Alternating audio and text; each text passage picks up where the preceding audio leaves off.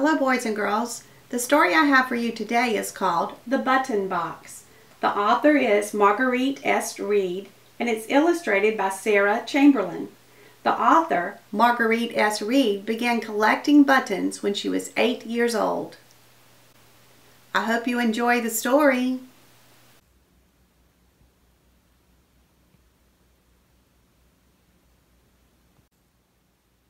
The Button Box My grandma has a special box. I like to play with what's inside.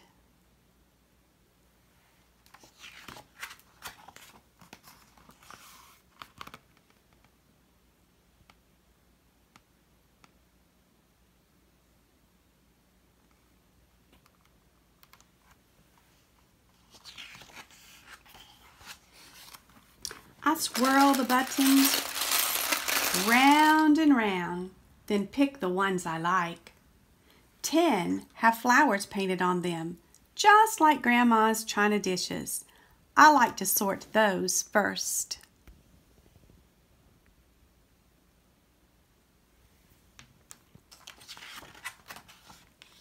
Next, I look for sparkly buttons. I pretend they're jewels that once belonged to kings and queens and movie stars. Some buttons are covered with satin,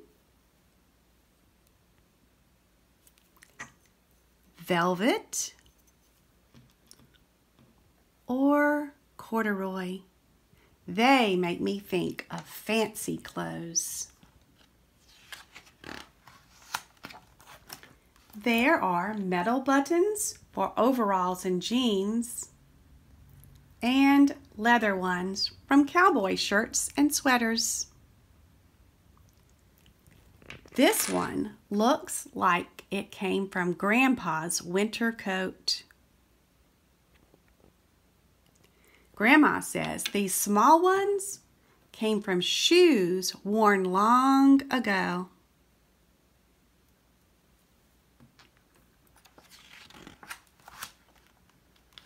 Next, I sort the shiny buttons that come from uniforms.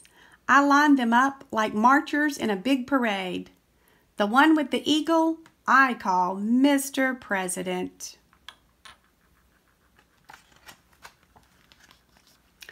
I pull out all the pearly ones and make a rainbow pattern. When does little change to big? I can never tell. Some buttons have four holes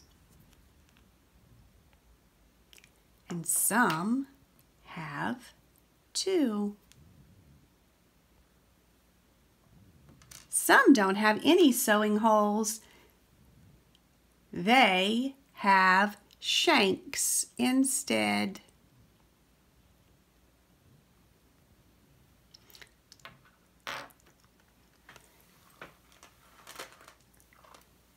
These make good eyes on puppets and stuffed animals.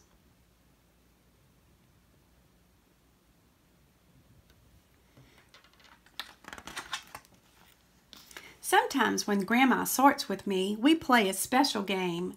We stir the buttons, shut our eyes, and then we each take one.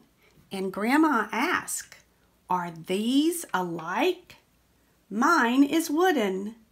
So is hers. Both are round and flat. But hers is thick and mine is thin. She puts my button on a string. Whirl it around, she says. The string twists up. I pull the ends. We listen to it hum.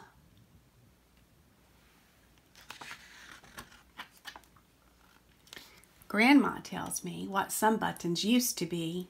Some were seashells, some were even sand. Big furnaces heat the sand until it melts. When it cools, it's glass.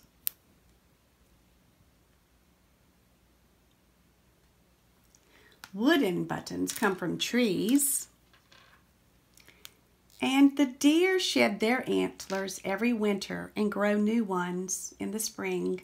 I like the buttons made from old horns.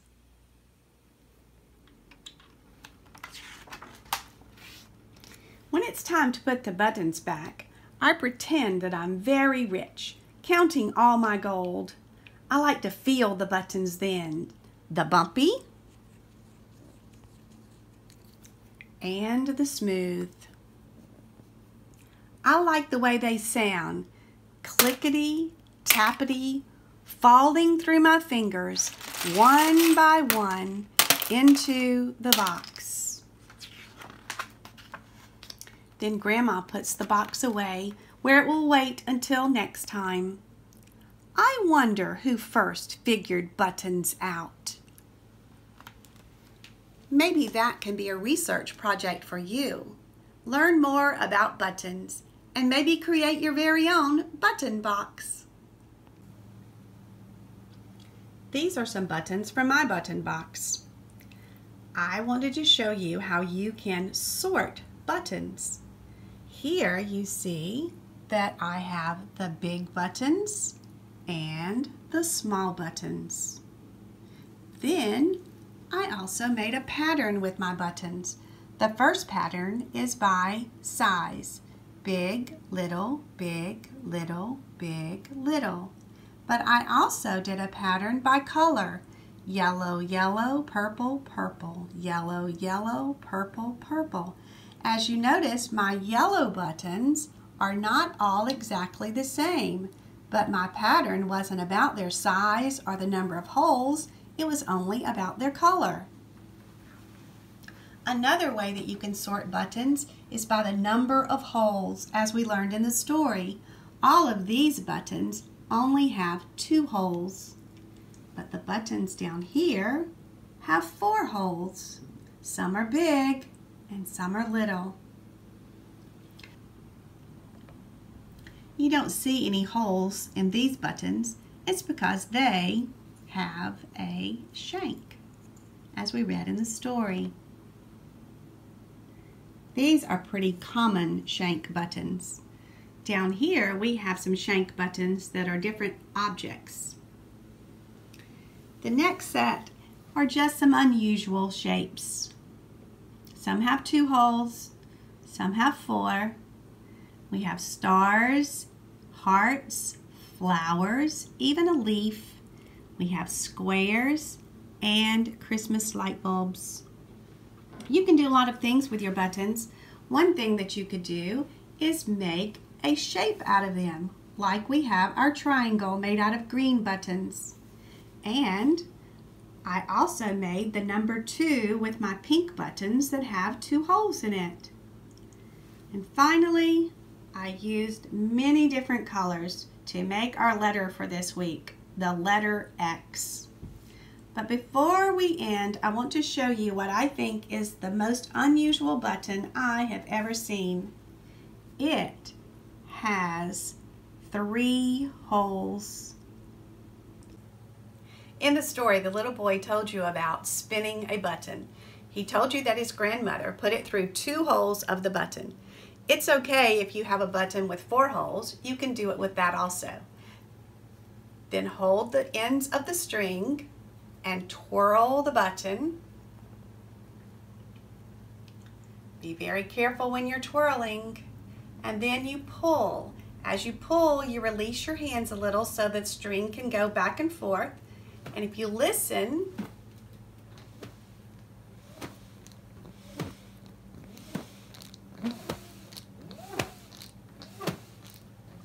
you can hear the humming sound of the dancing button. This is something I remember doing when I was a little girl. When you're all finished playing with it, make sure that you hold the string out and allow the button to stop completely so that it does not get tangled. That way you'll be able to use it again. Have fun! A special thank you to my friend Miss Paulette for letting me borrow her special buttons for our story today.